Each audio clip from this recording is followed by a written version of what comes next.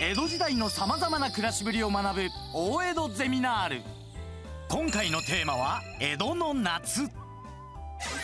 五感で感じる江戸の夏とは？扇風機あったんですよ。こういう感じで巻いてあるんですね。江戸っ子の粋なおしゃれ夏バージョンも伝授。火曜スペシャル。時代劇がもっと楽しくなる大江戸ゼミナール。7月21日火曜夜9時放送。